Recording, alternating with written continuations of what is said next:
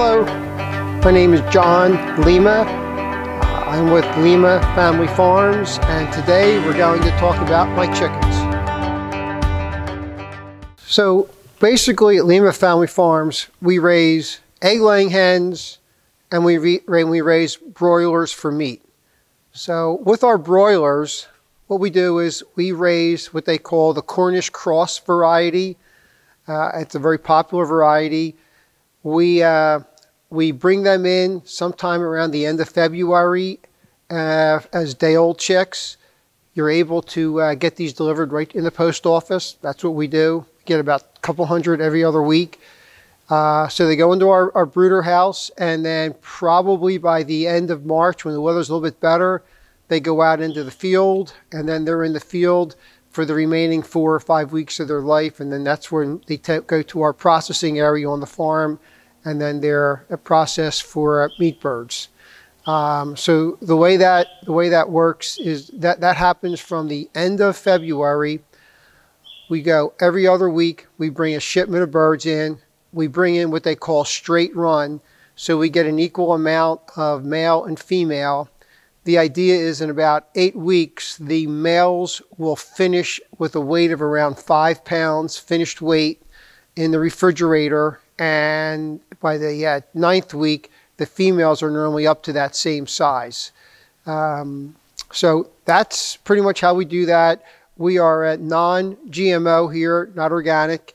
So we uh, get feed delivered um, every couple weeks. We get six tons of feed delivered for both uh, our egg layers and our, our, meat birds, and that's pretty much how we how we operate and we feed them.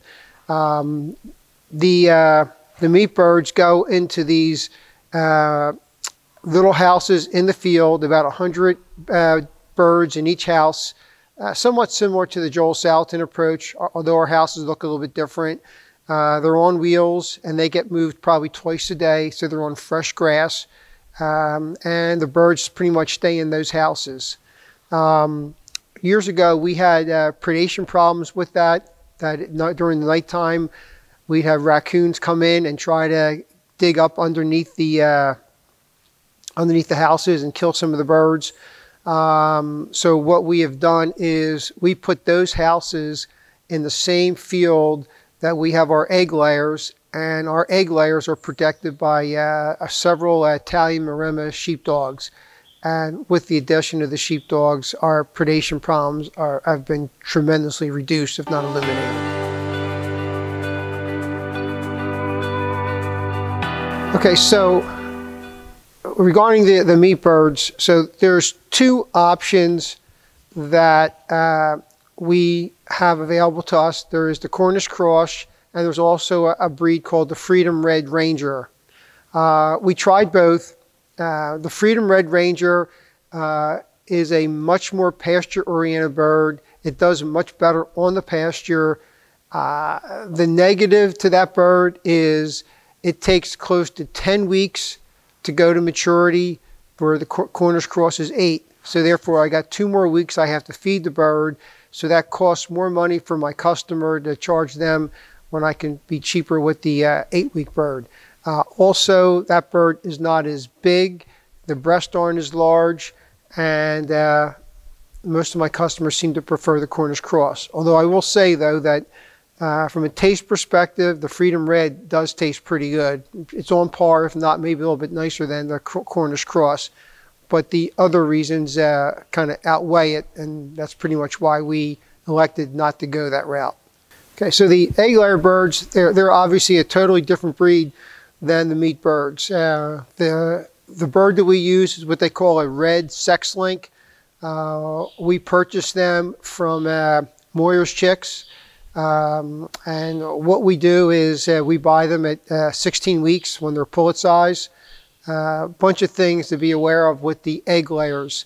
Um, so we used to buy them as baby chicks, but uh, and but we did not debeak them.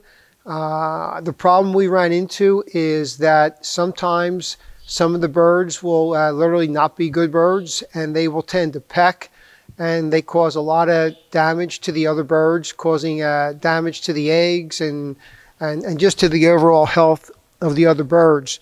So we did some research and found out that it's much better to have them debeaked. We didn't see any real change in their ability to pasture for, for bugs and grasses in the field. So because we don't want to go through the expense of having to, uh, or the time to debeak um, a thousand birds a year, we elected to uh, just buy them at 16 weeks old. So a 16 week old bird for us uh, cost about $6.50. That's a non-organic pullet bird. If you wanted to buy an organic bird, they could be cost as much as nine or ten dollars a bird. Ridiculous, but that's what it is. Um, so, so what we do is we raise a flock of approximately a thousand birds. Uh, and we bring in about 350 birds or thereabouts three times a year. Once in the uh, beginning of April, once in maybe in May, and then another one in July. We spread it out over the course of the summer because I still have my old flock of a thousand birds. So what we do is we take the new 350, put them in a separate field, and then as they start to lay eggs, we start to take out the older hens and we use them for soup chickens and we sell them in our store for soup chickens and they, they move pretty much, we can sell all of them. So what we do is over the course of a season, we will get rid of our old flock of a thousand and we have a new flock of a thousand. Uh, again, we're using non-GMO feed just to give you an idea the difference. Um, if I was to buy organic feed, it's running, I'm going to say about 44 cents a pound right now. Uh, non-GMO feed costs about 20 cents a pound. So if you do the math, that will cost you about $1.25 per dozen in cost for food only. So if you're selling your birds, your I'm sorry, your eggs for say 550 a dozen, uh, non-organic, organic, you'd have to raise your price a dollar and a quarter just for the cost of the feed. Um, we just we've talked to our customers, and for the most part, I don't think they really wanted to spend the extra money we didn't really see the value of it, especially considering that most of that organic grain comes from overseas, and I don't see what value that is to that, but it's another story for another day. Um, so that's what we do. So as far as the, the cost of the eggs, uh, we have found over the years that we, we run uh, uh, four different enterprises here, or actually five. We have egg layers, meat birds, pork, beef, and vegetables. Uh, I've found over the years that every one of them is can be a profitable venue. It's more a question of how it fits within your own system. I mean, for example, I, I raise a thousand egg layers and I sell all the eggs. Okay. Um, so what we do here is I have two people who work taking care of all my broilers, all my egg layers, all my pork, and they take care of ma maintaining the fences. And those two people, by adding them in and putting all the cost for the feed, the labor for collecting and cleaning and everything else, it nets out for a positive, a positive experience. Obviously, if all you're doing are eggs uh, and nothing else, um, you could just run the numbers. I mean, uh, uh, you should be able to be profitable. The, the question is, is, you know, a, a person doing it on their own, I mean, you got to do a lot of eggs to be able to make enough money just doing eggs and raise a family. So I look at the eggs as being a part of an overall system, but um, but yes, they are profitable, and so is processing meat birds. It's very profitable uh, if you're if you know how to do it, especially if you process the birds yourself on your own farm. It's very profitable. Um, you know, and again, it all depends on if you're doing the work, then you're not hiring somebody else to do it. Yeah, I mean, I mean, all the question is what do you determine to be profit? Is profit because you're sitting there and somebody else is doing all the work? and when it's all said and done, you make a small percent over top of it? Or are you looking at profit where you are raising the birds, you're doing almost all the work, and the end result is that's considered your profit? Well, there's a lot more profit in that. But that's really not profit because you actually had cost incurred by you doing the work yourself. So it's kind of a how do you define profit?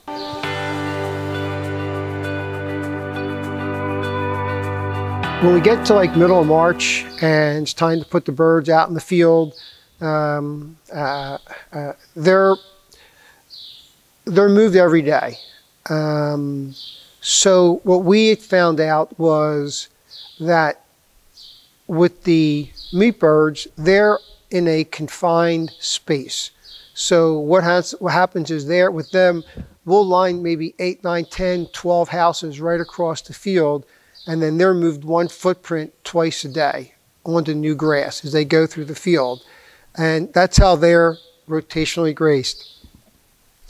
When it comes to the egg layers, uh, what we do with them is the field that they're in is about maybe an 8 to 20 acre field, totally fenced in with uh, some kind of a wire mesh so animals can't easily get in and the chickens can't easily get out. And it's also electrified. And our dogs live in that area. So those birds live in these elevated uh, tractor houses, which are on wheels, and they get moved at least once a day, one footprint. But they're left to roam the entire field. Now they pretty much stay close to the house, but but they do move around. They do get around. So, but but but what we try to do is not to let um, all the waste accumulate for more than one day in any one spot. And we're rewarded by that because our grasses just become totally lush by doing that. It's just amazing how that works. Um, again, this works because of our dogs. We're, we're free to let them roam. Uh, at nighttime, before we had our dogs, we'd have to go out there at nighttime, and if they weren't in the houses all buttoned up, we'd put them into the houses, and that was a real labor effort. Now, we don't even worry about it. There's nights when you go out there a summer night when it's warm and you'll see a dog sleeping there and you'll see 500 hens all in a big circle all around the dog. And that's where they all sleep. That's pretty neat. And they're protected. So that's kind of how we do it. And then uh, what we do is that 28, so our, our beef rotationally graze roughly every 42 to 44 days or in the summer. So what happens is in 42 to 44 days, that fields where the chickens are in, is ready for the cows to graze. So the cows will come in and they'll do maybe an acre a day in that 8 to 20 acre field that where the chickens are in, and they will graze through that field to be able to cut cut it down and get it down so the chickens can walk better through the field because the grass gets pretty intense. Um, but that's how we kind of work the rotational grazing out.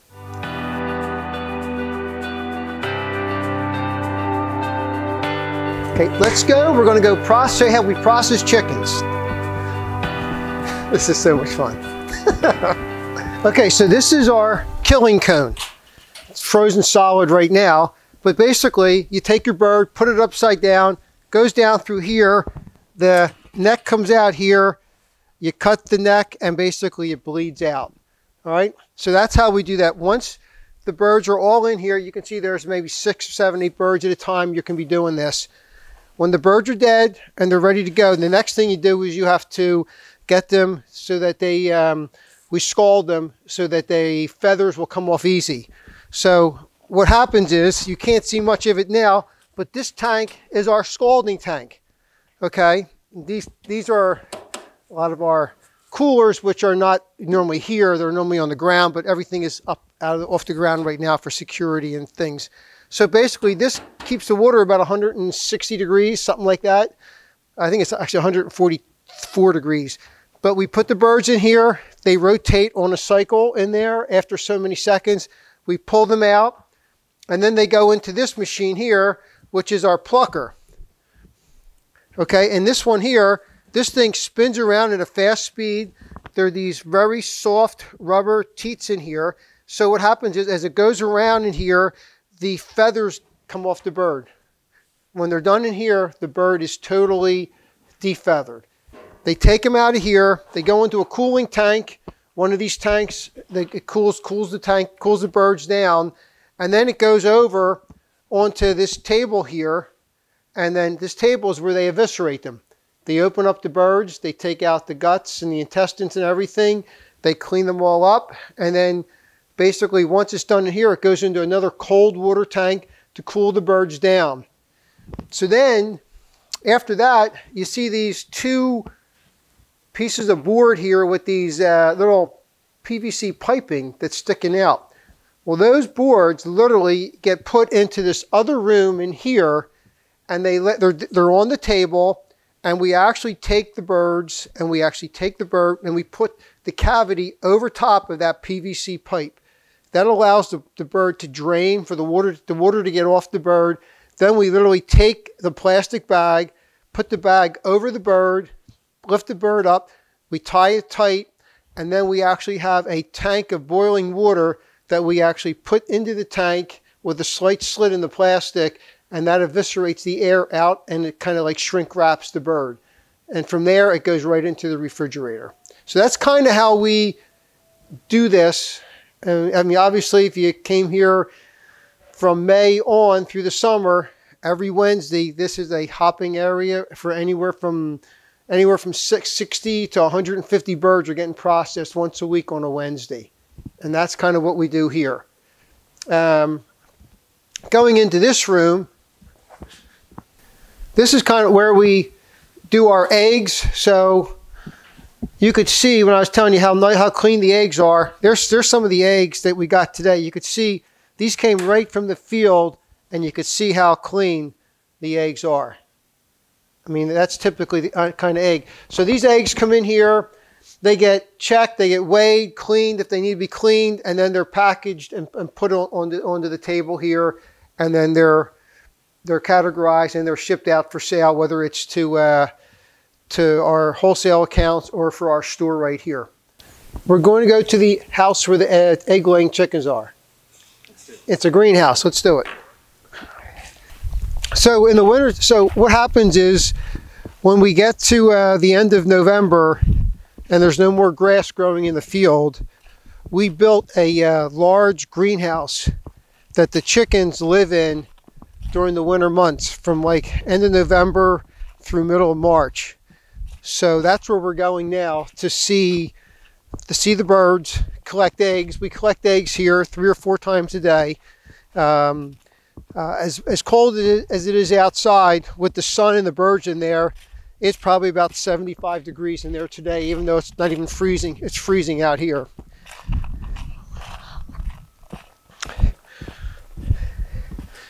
We also use this greenhouse for tomatoes come springtime after the birds leave here.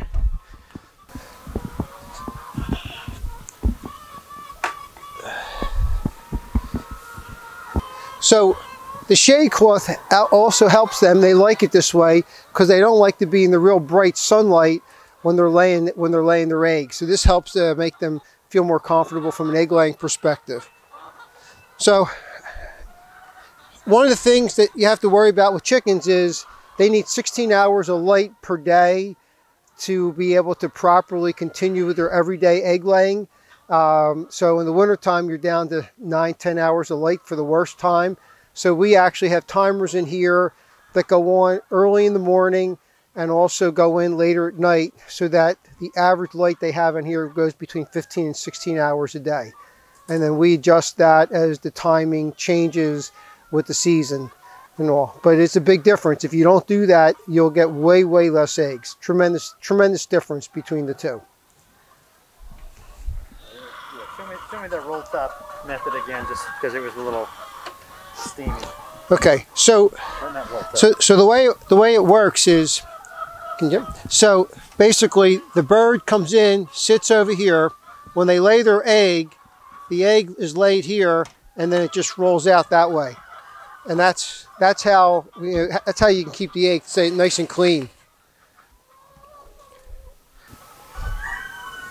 Hi, Polar. Hi, buddy. Hey, Polar. So this is uh, Polar. Huh? This is one of our watchdogs. Has he, uh, has he eaten any? He did when he was young. He used to eat them a lot, and he would get punished for that, didn't you? Hmm? Huh? That's a good boy. It sure is. you're, you're a ham over here. You like this?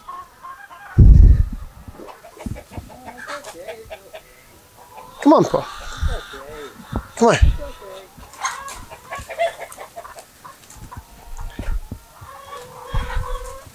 He doesn't know if that thing is going to hurt the chickens.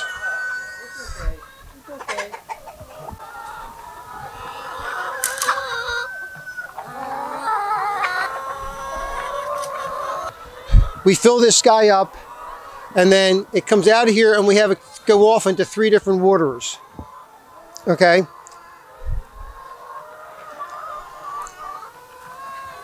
So at nighttime, when it gets really cold out, what we do is we just take this all off so it doesn't freeze. And then in the morning, we put it back out here again.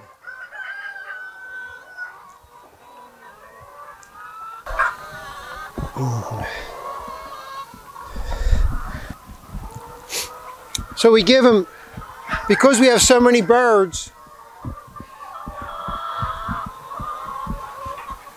these are our outside feeders for the for during the summertime. And these guys, you can almost put a ton of feed in these guys and drag them along in the field. So this will make sure we always have them enough feed for them to eat.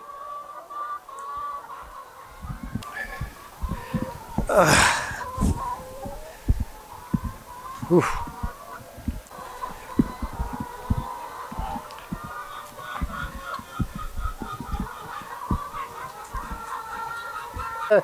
Springtime, around middle March, birds leave here, it's empty.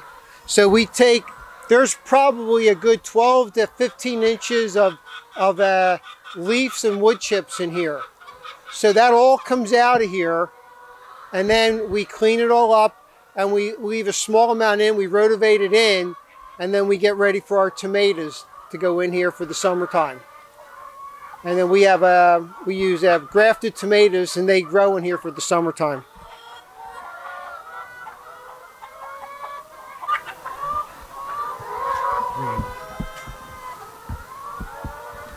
Another important item that you have to be aware of is uh, so towards the end of the day, towards the end of the day, um, the birds are finished laying their eggs. So what we do is we will literally, we take these guys and we put up their roost bars. Okay, the significance of that is that if you do not do that, the birds, when they go to sleep, they love to sleep in the nest boxes. And if they do that, next thing you know, they get really dirty. They get they poop in them and everything, and then they're all dirty, and then you got to go clean them. So what will happen is we will put these up around three, four o'clock in the afternoon. We'll put them up because uh, they're done laying their eggs, and then at nighttime we come in and feed the dogs about eight o'clock at night, and they're all asleep. The hens. Then we lower these down and that way they're good to go for first thing in the morning when the chickens start laying their eggs.